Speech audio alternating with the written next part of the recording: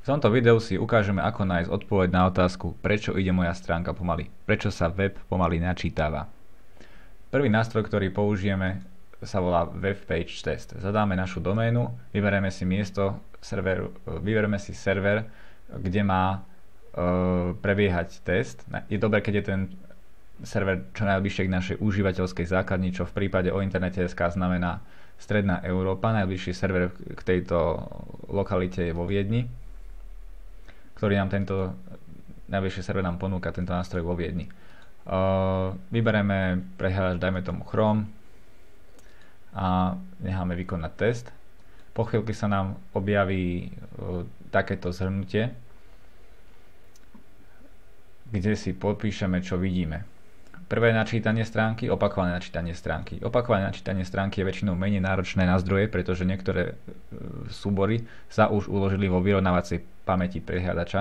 A teda vidíme, že síce prvé načítanie stránky uh, prenesie zhruba uh, 1 mega dát, druhé načítanie stránky uh, už iba 400 kB. Iba v úvodzovkách. Uh, prvé na- načítanie stránky trvá uh, 8 sekúnd, druhé načítanie 7 sekúnd, no skoro 9 Takže to sú, to sú nie veľmi užívateľsky priateľské čísla. Stránka sa začne vykreslovať v 4. sekunde a pri opätovanom opätovnom načítaní tiež zhruba v 4. sekunde.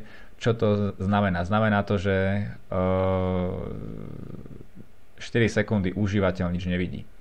E, to není dobre. V nejakom podcaste som počul, že každý, každá jedna sekunda načítavania odpadne 7% užívateľov. Čiže náš cieľ je, aby sa stránka načítala okamžite. Uh, vidíme čo first byte. First byte znamená, že zhruba 1 sekunda trvá, 1 sekundu trvá, kým server spracuje požiadavku prehľadača a vypluje, vypluje prvý byte. To je, to je veľa. Znamená, že preskúmame potom, mm, prečo to tak dlho trvá, ale znamená to teda, že e, treba buď aktualizovať cms zmeniť cms zlepšiť server, zmeniť hosting a tak ďalej. E, stránka načítava zhruba 550 DOM elementov, e, má, prvé načítanie má 100, 110 požiadaviek, to je dosť veľa. A a to je asi všetko podstatné. Ehm, dokon, tento nástroj nám umožňuje pozrieť si, ako po milisekundách, no tak po milisekundách, po 500 milisekundách, ako, sa, ako vyzerá načítavanie stránky z pohľadu užívateľa. Vidíme teda, že 4. sekunda ešte nič sa nedeje, 4,5 sekunda už sa niečo začína objavovať a 9 sekunda je to kompletne dokreslené.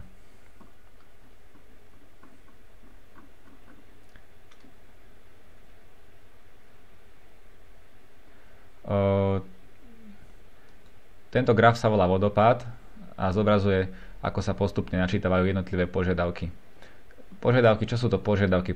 každý, každý, každý JavaScriptový súbor, ktorý sa uh, stiahuje, každý, každý uh, obrázok, ktorý sa stiahuje, každý súbor, ktorý sa stiahuje zo serveru je požiadavka na server a uh, o to sa predlžuje celkové načítanie stránky. Čím je tento graf, čím je kratší vodopád, tak, tak, je to, tak je to lepšie. No, takže vidíme, že úvodné, úvodné načítanie HTML súboru DNS lookup, e, úvodné spojenie a táto, toto zelené čakanie na prvý byte. To znamená, že toto zhruba je doba 1 sekunda, kým uh, prehľadač, užívateľov prehľadač čaká a nič, nič sa nedeje. Až od prvej sekundy. Toto, toto modré znamená, že HTML súbor uh, sa preniesol. A môžu sa začať načítavať uh, obrázky, CSS a tak ďalej. O, ako som povedal, vyšetriť prečo to je tak, či nakonfigurovať server rýchlejšie, či vymeniť Apache za Nginx, či aktualizovať cms rozmýšľať nad zmenou cms či nastaviť nejakú, nejaké agresívnejšie kešovanie na, na, na servery v rámci cms či v rámci Apache, či Ngingsu. Uh, toto by malo byť uh, do 100-150 milisekúnd. Samot, uh, time to first byte do 150 milisekúnd. Uh, vidíme, že sa stiahuje množstvo externých záležitostí. Toto bude asi G+, toto bude, toto bude vzdelanie, vzdielanie sú v obsahu na, na Facebooku, vidíme tu nejaké vzdielanie obsahu na Twitteri, vidíme tu nejaké fonty, ktoré sa stiahajú z Google. Všetko, všetko, čo nie je nevyhnutné, aby, aby sa načítavalo. Čiže preč tým.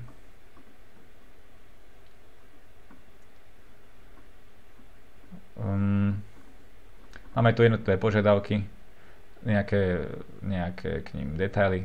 Potom tu máme k danému requestu množstvo rozpisu, aby sme mohli zistiť uh, podrobnosti.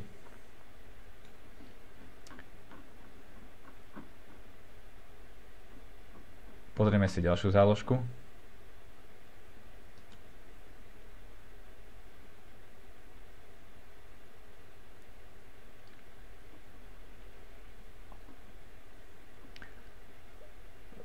Tak e, pomeráme na spodok. Vidíme teda, že čas e, vylezenia prvého bajtu je 980 milisekúnd, ten nejaký odporúčaný štandard je 123 milisekúnd. E,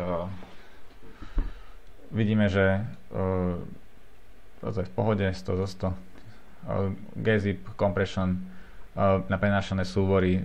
Súbory sa neprenášajú súbory sa prenášajú zbalené, čiže žere to menej prenosových dát, ide to rýchlejšie, rozbája sa to na strane užívateľa v jeho prehľadači a počítač s tým ďalej tak pracuje. 100 zo 100 v pohode. Compress images, vidíme, že obrázky sú zhruba všetky sú dostatočne dobre skomprimované. To znamená, že JPEGy majú vhodnú kompresiu, GIFy majú vhodnú kompresiu a tak ďalej. Tuto, toto je veľmi nízke skore, znamená to, že prenášané obrázky, prenášané e, súbory nemajú nastavenú dobu vyexpirovania vo vyrovnávacej pamäti prehliadača. Treba sa s tým zaoberať troška. Vygoogliť, ako nastaviť e, na servery, aby sa to nastavil, aby sa to, ako, ako nastaviť hodnotu hodnú pre tie prenášané súbory. Vidíme, že uh, zhruba 50 zo 100 pre Content Delivery Network, to znamená, čo to je Content Delivery Network? To, zna, uh, to je riešenie, keď máte užívateľov po celom svete, nechcete uh, ich, ich strácať ich čas, pretože keď sa stiahuje nejaký súbor uh, z bratislavského severu užívateľov Austrálie, tak to trvá dlho, preto si vybudujete sieť serverov po celej planéte a presmerujete užívateľa, nech sa stiahujú statické súbory ako obrázky čo najbližšie k nemu. Čiže v prípade nejakého užívateľa Austrálie by to bol povedzme server v Hongkongu. Uh, to je web typu o internete SK, kde je hlavná užívateľská základňa uh, Stredná Európa. Nemá nejaký význam používať Content Delivery Network, keďže Československo má blízku vzájomnú polohu. Uh,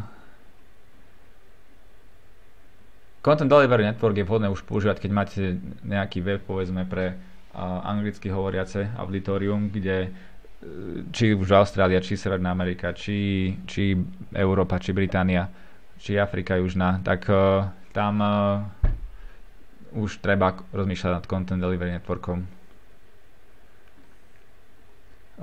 To si ešte rozoberieme na internete.sk. Tu máme nejaké vysvetlenie k tým pojmom. Uh, tu vidíme štruktúru prenášaných, prenášaných dát. Um, percento požiadaviek vzhľadom na jednotlivé dáta, druh dát vidíme, že 31 požiadavek ide na JavaScript, to je veľa. Tam by mal byť tak max 2, hej, v reálnom živote 3, 4. No je, ako optimálne 1, hej, v reálnom živote 3, 4 sú, sú bývajú. Uh, HTML veľa, 41 požiadaviek veľa.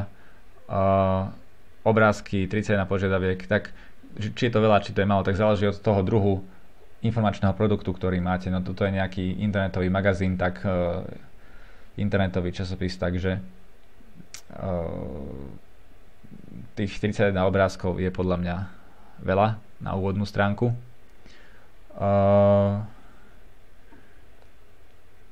font, uh, to sú toto neštandardné, ja, ja osobne sa vyhýbam používať neštandardným uh, fontom, pretože uh, predlžujú načítavanie stránky a je to taký taký, tak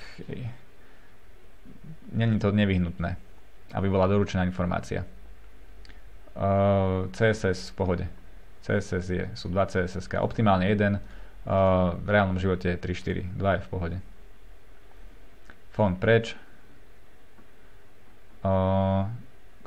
Veľkosť dát, čiže najväčšiu časť toho 50, nad 50% tvorí JavaScript, čiže JavaScript zredukovať preč dať, to bude, myslím, že to budú tieto uh, zdieľačky, ke, keď sa to odstráni, malo by, malo by sa to celé značne, malo by sa načítanie stránky značne urýchliť. To není nevyhnutné, aby na hľade na úvode boli takéto zdieľacie tlačítka.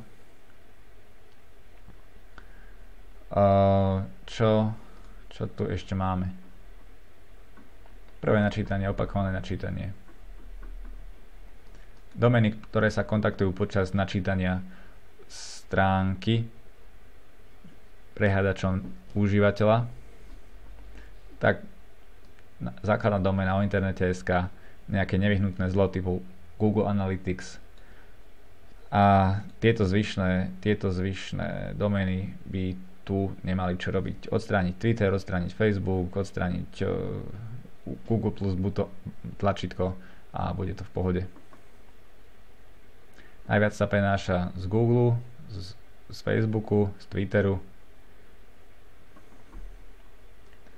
screenshot, to, to už tuším bude žiadna cenná informácia v tomto prípade.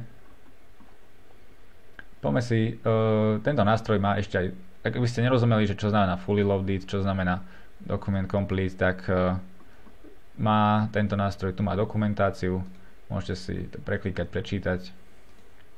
Prezrime ešte uh, na porovnanie uh, moju domovskú stránku jasom.net, uh, ktorú som testoval pre potreby, je to blog písaný po anglicky, čiže uh, testoval som to pre potreby povedzme západného, východného pobrežia, západného pobrežia USA. Uh, dokument načítaný 2,5 sekundy, opakované načítanie 2,3 sekundy, čiže zhruba rovnaké. Prvý byte vylezie uh, v pol sekunde, stránka sa začne načítavať, čiže užívateľ už niečo vidí 1,5 sekunda, speed index značne nižší, než sme mali na stránke o internete.sk, počet DOM elementov značne nižší, než sme mali na stránke o internete.sk 141, uh, dokument uh, prenesie 482 KB, uh, fully loaded, to znamená tento rozdiel predpokladám, že je spôsobený Google AdSenseom. Takže celkovo sa načíta uh, počas jedného, uh, jednej úvodnej návštevy pol mega, opakovaná návšteva, opakované načítanie 236 kg v pohode. Vodopád uh, značne kratší, než sme videli v prípade, v prípade uh, o internete SK. DNS lookup je v pohode, 100 milisekúnd zhruba. Mohol, mohol by byť kratší, mohol, byť znač, mohol by byť kratší. Uh, initial connection, to znamená, e, kým sa nájde sa IP záznam pre doménu, e, kým sa kontaktuje server cez pol planety, lebo server sa nachádza na Slovensku. A toto je doba, kedy počíta počíta server, vypluje nejaké dáta, prenesú sa zhruba 600 milisekúnd, kým sa začne načítavať zvyšok stránky. Tiež beží server na Apache, čiže možno prehodí na Nginx, aby sa toto zredukovalo. Vyrovnávacia pamäť e, je tam už nastavená značne ako agresívne, takže tam už není čo veľmi posunúť. E, možno nastaviť ešte nejakú, nejaký, možno zapnúť na Drupal nejaký modul, ktorý e, stránku prekonvertuje do statického HTML. To by mohlo urýchliť, znižiť tento koláčik, túto časť. A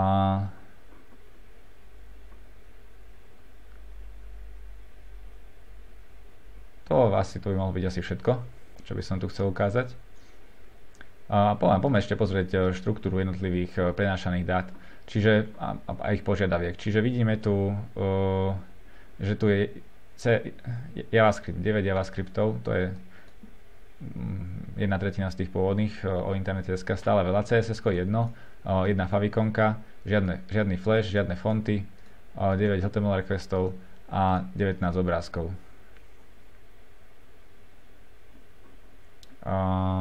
Domeny, ku ktorým sa počas načítavania pre, pripája prehľadač užívateľa. Hlavne ja som net. A, toto, toto je Google AdSense, Google Analytics, Google AdSense, Gravatar. Čiže mohlo by byť ešte nejaké odporúčanie.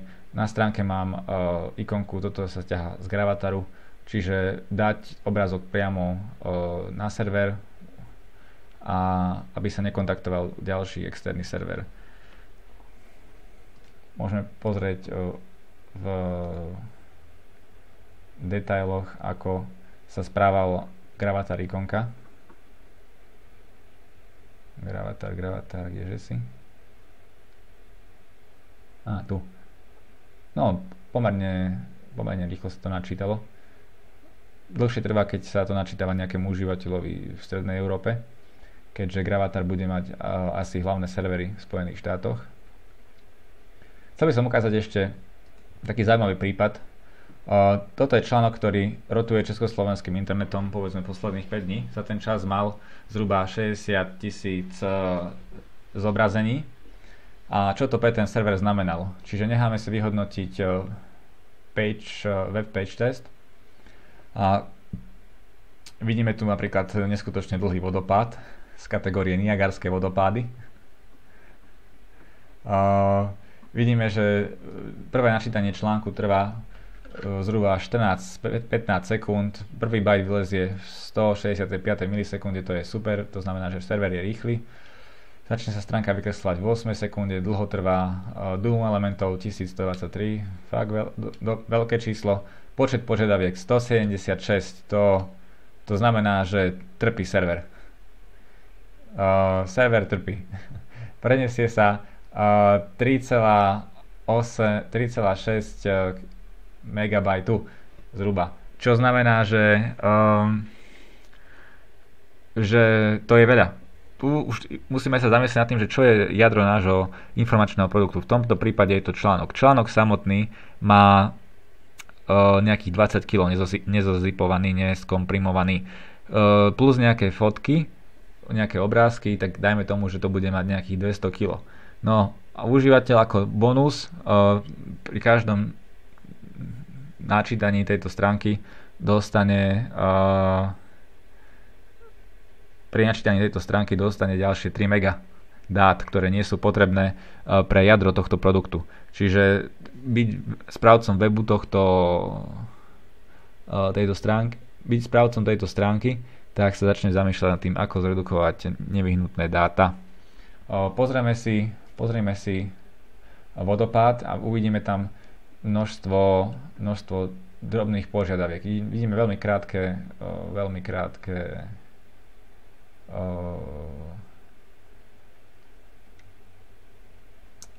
spracovanie a vyplutie HTML, nádhera.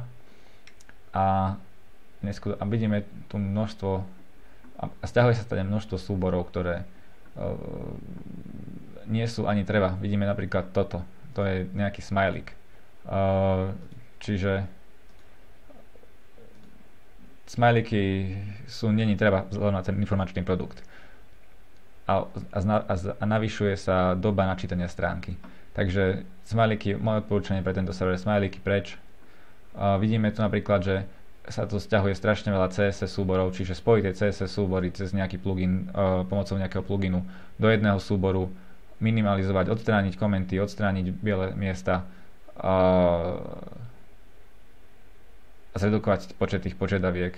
Hej, tam by mali 1, 2, vidíme tu nejakých, neviem koľko, 9, 10. Aj to isté z JavaScriptmi, hej, jeden JavaScript, druhý, tretí, štvrtý, piatý, šiestý, siedmy JavaScript, 8, veľa ich je. Vidíme tu, že server používa téma, šablona WordPressovská používa uh, fonty, uh, Google fonty. Ako som povedal, to není treba na doručenie informácie predtým. Uh, takisto takisto nejaký Facebook som tu zazrel. Facebook, nejaký Facebook uh, likeboxy tam asi budú, alebo tlačítka na zdieľanie tiež predtým odkaz, na, dá spraviť to cez odkaz,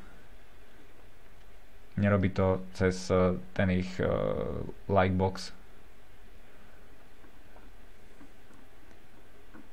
No, takže vodopád Niagar, Niagary. Niagarský vodopád. Uh, pozrieme ešte pozrieť na štruktúru prenášaných uh, dát. Vidíme, že uh, obrázky tvoria 37%, to na to, že naše jadro je článok, je to strašne veľa. Uh, takisto naše jadro je článok, JavaScript tvorí 35%, to je tiež veľa. Fonty 16%, to je, to je zbytočné. Uh, image, image, máme tu 100 požiadaviek na obrázky. Fúha. Fúha domeniku, ktorý sa pripája. Tiež zaujímavý údaj. Tak vidíme tu Ironet samotný, hej, Google fonty predtým, API Google predtým, Gravatar to asi v prípade WordPressu je také nevyhnutné zlo. Uh, Facebook predtým, no asi to by bolo všetko. Uh, ešte by som spomenul taký pekný nástroj, volá sa, že Pingdom, website PitchSet, prakticky robí to isté, čo uh, web page test. Tiež som si nehal otestovať. Dobre je spraviť si ten test uh, vašej stránky na viacerých nezávislých nástrojoch, aby ste si boli istí, že uh, alebo zopakovať to viackrát, aby ste si boli istí objektívnosťou výsledkov, lebo môže byť v tej danej chvíli server preťažený, môžu byť linky zahltené, čiže uh, je tam viac faktorov, ktoré do toho, do toho výsledku ešte vstupuje, ale vidíme napríklad, že uh, v prípade stránky o internete SK ten server reaguje pomaly, CMS reaguje pomaly, aj, aj v tomto druhom teste máme výsledok uh, 865 milisekúnd uh, počítania. Tu ešte takto si vyberete, kde má, na ktorom, z ktorého miesta má prebiehať server, ja som zvolil Európu. Vidíme, že načítanie trvalo nejakých 2,18 sekúnd, čo je rýchlejšie než v predchádzajúcom nástroji. A, a tak. Veľmi zaujímavý uh, sumár, zhrnutie toho, ako správne, aké sú najlepšie e, postupy pri tvorbe webov vzhľadom na jeho rýchle načítanie. Vytvoril Yahoo, Best Practices for Speeding Up Your Website, prečítal som si, dobre, je to dobré, pribudli nejaké veci, mobil, a musím si prečítať opäť. Takisto vytvorili uh, dobrý zásunný modul do prehľadačov, ktorý vám pomáha tieto tento, tieto, toto zhrnutie aplikovať.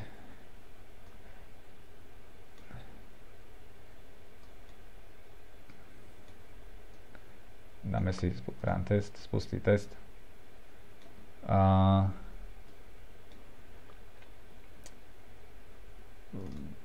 preklikať, prečítať. Uh, tu vidíme tie, tú štruktúru jednotlivých prenášaných dát, vidíme napríklad, toto je také zaujímavé, že CSS image, A test som nehal vypracovať pre, pre túto stránku, nie pre o internete.sk, čiže sa s tým nebudeme teraz takto v rýchlosti zaoberať. Ale tak tu sú, tak čo sa prenáša, z, čo sa, aké obrázky sa prenášajú v css aké obrázky sa prenášajú na samotnej stránke, aké javascripty sa prenášajú, či sú zozipované, či nie sú zozipované, či uh, ako majú veľkosť a tak ďalej. A takisto štruktúru prenášaných dát v grafových koláčoch. Pekný nástroj. Uh, v rámci týchto v rámci týchto odporúčaní odporúča sa spracovať, ak pokiaľ používate vo vašom CSS, vo vašej šablóne množstvo obrázkov, spojiť tie obrázky do jedného veľkého a potom cez CSS ich e, naštýlo, naštýlovať. Mm. Používať to aj o internete tak toto vyzerá. Tu sú nejaké, nejaké príspevky na uh, signpoint.com blogu, o tom, ako uh, urýchliť svoj web, tak si to pre, pre, preletíme. Te, nejaké testovacie nástroje, Pingdom, čo sme si ukazovali, webpage test, nejaký novší, nový GTmetrix, uh, user static block generátor. Keď máte HTML stránku, tak tam sa nič nepočíta. Tam už server prenáša iba, uh, už, iba hotové súbory, čo znamená, že je to rýchlejšie. Uh, sú na to pluginy do, do, do Drupal, sú na to pluginy do WordPressu, a z pohľadu uh, užívateľa sa prakticky nič nemení, celé to beží iba na, celé to beží na, na servery. Uh, zjednoduš design svojej stránky. Uh, ako sme si povedali, čím menej fontov, čím menej nejakých uh, požiadaviek, čím menej obrázkov, čím menej rôznych prvkov a tak ďalej, tým to celé pôjde rýchlejšie. Vyber, se, dobre, je dôležité, aby bol server čo najbližšie k vašim cieľovým používateľom. Pokiaľ máte užívateľov po celom svete, tak použite nejakú Content Delivery Network. K tomu sa ešte na o internete dneska vrátime. V článku pod videom bude odkaz na to. Nainstall Nginx je serverové riešenie, ktoré je rýchlejšie než Apache. Um, minimalizujte HTTP requesty, to sme si povedali, že čím menej tam je CSS súborov, spojte CSS do jedného, uh, spojte JavaScripty do jedného, odstránte komenty, odstránte biele miesta a tak. A ako urýchliť vašu WordPress stránku, tiež si ešte preletíme posledné. Uh, a ešte sme asi, asi sme ešte zabudli spomenúť uh, Google Page Speed Test. Uh, takže sa, Google má tiež množstvo zaujímavých zdrojov o tom, ako urýchliť váš web. Dokonca má uh, vypracoval vlastný testovací nástroj, ktorý výsledok rozlišuje medzi tým, ako sa pozerá stránka z mobilného zariadenia, ako sa pozerá stránka z štandardného stolného zariadenia taktiež ponúka potom nejaké návrhy, ako odstrániť nedostatok. Google takisto pre Apache a Nginx ponúka tzv. taký mo- modul, no modul to je, ktorý sa nainštaluje a on potom urýchluje množstvo z toho, čo spomína napríklad Yahoo ten modul robí automaticky a urýchluje načítanie celej web stránky. Kde sa to, ako sa to volá?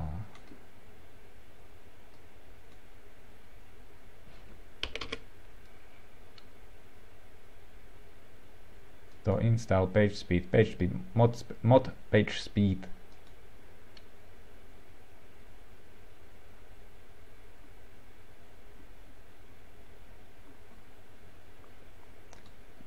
Tiež si to nejak pre, prečítajte, venujte tomu chvíľku. Uh, hosting, špecializovaný WordPressovský hosting.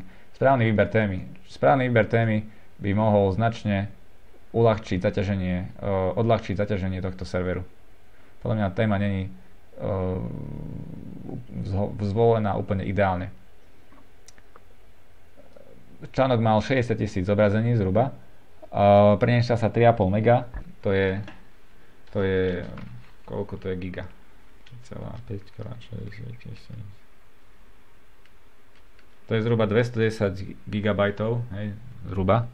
Uh, čo, povedzme, ak by mal ten článok aj s obrázkami nejakých 200 kg,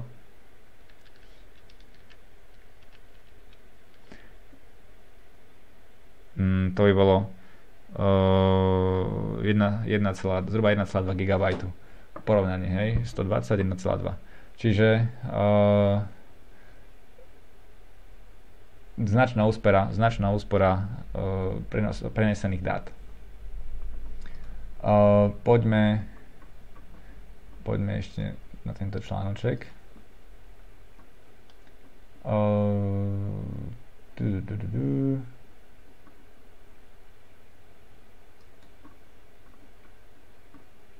Sú externé nástroje, ktoré vám pomôžu zminimalizovať obrázky, zminimalizovať veľkosť obrázkov.